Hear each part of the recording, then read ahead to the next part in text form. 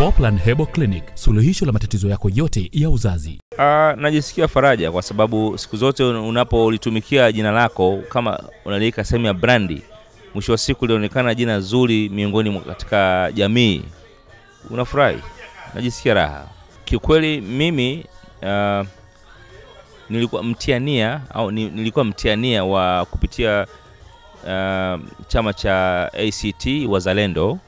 Uh, pia nimechaguliwa na viongozi pamoja na wanachama wa ACT Wazalendo kuwa mgombea kabisa, ni mgombea kamili wa, wa jimbo la Segerea katika kiti cha ubunge.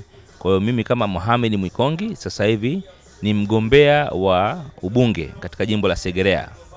Nimeshinda tena kwa kishindo, nimepata naweza kusema asilimia tisini na, na tano kitu kama hicho ya wagombea walikuwa watano na wajumbe waliopiga kura walikuwa karibu mia moja na tano. Mimi nilipata kura themanini na mbili. Alinifuatia alipata kura saba, mwingine kura tano, mwingine kura nne na kura nne.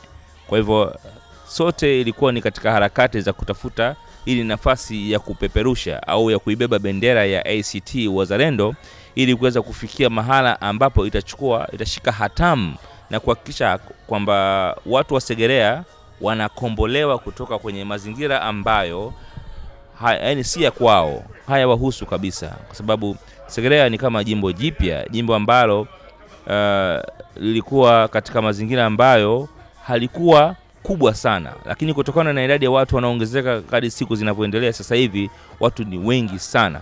Kwa hivyo Segerea inahitaji huduma nyingi sana za kijamii, huduma ambazo nadhani zilichelewa. Kwa mfano maji, maji Segerea imechelewa sana, kwa sababu sasa hivi wanatumia uh, wanatumia sana maji ya visima.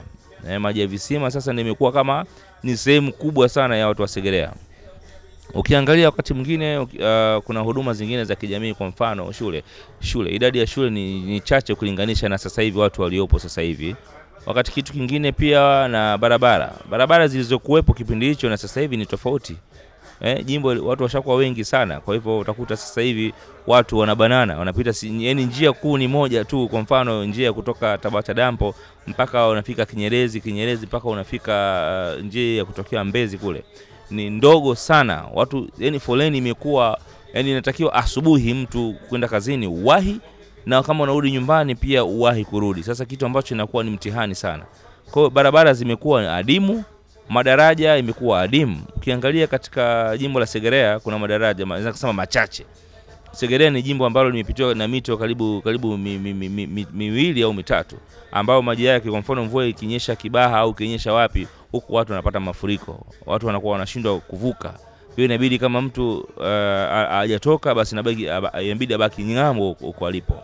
Sasa mazingira kama haya huwa mara nyingi wananchi inawakera sana.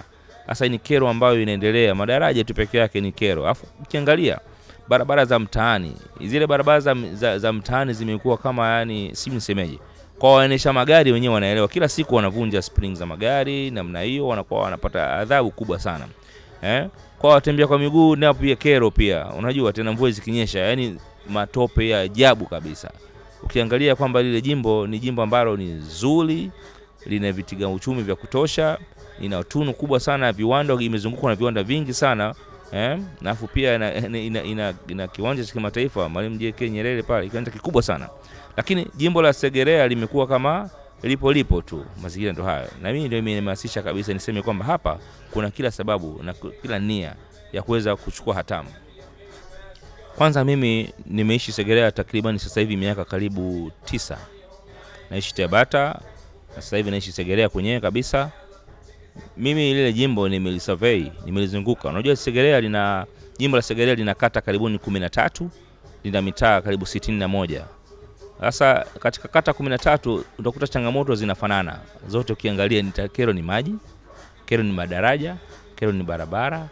Hizo ni kero kuu. Afu pia ukiangalia hata vituo vya polisi vimekuwa vichache, hospitali pia zimekuwa ni chache. Kwa mazingira kama hayo, mimi nimelisurvey na nikafanya tafiti za kutosha kiasi ambacho mpaka sasa hivi ninavyokuambia nimeli, nime, yani nalitambua na naelewa vizuri sana. Yeah. Tena sasa hivi naweza nikapata wakati mzuri sana wa kufanya sana yangu vizuri sana. Yeah, kwa sababu ukiangalia uh, wakati uta, uta, utapatikana tu kwanza nina ni, katika sehemu ya mambo yangu ya kuweza kuisaidia au kuwasaidia watu wanasegerea, lazima nifungue center. Center ambayo itakaojishughulisha na mambo ya filamu mambo ya music mambo ya michezo mpira wa miguu uh, mpira wa kikapu na baadhi mpira mpira wa pete kwa ajili ya kina mama na siku hizi mpira mpira wa pete hata kina baba wanacheza hata pool table siku hizi imechukua nafasi kubwa sana. Kwa hiyo lazima nifungue senta ya vipaji ambayo itaweza kusaidia watu mbalimbali nao kuweza kukuza vipaji vyao na kuweza kuwasaidia, kwa sababu sasa hivi kipaji ni ajira eh, na ajira ni kwa vijana, ndio inaanzia kuanzia miaka umri miaka kumi na nne kumi na tano mpaka kuendelea. Watu wengi sana wanapata nafasi hiyo. Kwa hiyo ukiwakuza hawa, nafikiri utaweza kutengeneza watu wengi wenye vipaji zaidi. Kwa hiyo siwezi nikaacha sanaa, sanaa itaendelea kuwepo na kazi ya kuwatumikia uh, wanasegerea itaendelea kuwepo. Nitawawakilisha vizuri katika mambo ya kutunga sheria na kuwawakilisha katika mambo mengineyo na kutatua baadhi ya kero ambayo walizokuwa nazo yeah. Uh, kwa wasikilizaji wa Clouds FM, mimi nasema Mohamed Mwikongi au Franki, nimetangaza nia na sasa hivi nishapata ridhaa, nasubiri kipenga kilie, niko tayari kupambana ili mradi tu kuweza kuwaokoa wanasegerea wana katika jimbo langu. Nasema ya kwamba itawezekana na kila kitu kinawezekana, hakuna kitachoshindikana, kwa sababu wanasegerea kwa muda mrefu sana wamekuwa wakisumbuliwa na mambo mengi sana, especially ukiongea hamna soko Segerea, hakuna soko. Uh, pia Segerea imekuwa unajua, katika naweza kusema katika tishio fulani.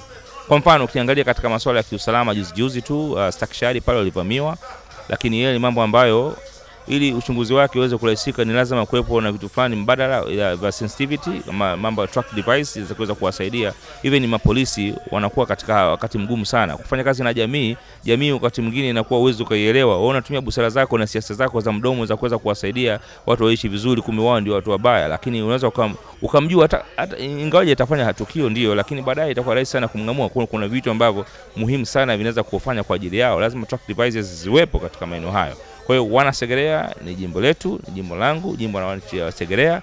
Ni lazima tupambane na tuhakikisha kwamba kama mtu anakuja na pesa yake anakuwa anakupa pesa mwana Segerea, chukua, lakini fikie ifikie kipindi ujue kwamba kura unampa mtu muhusika ambaye anastahiki. Asante sana, nashukuru sana nawe pia.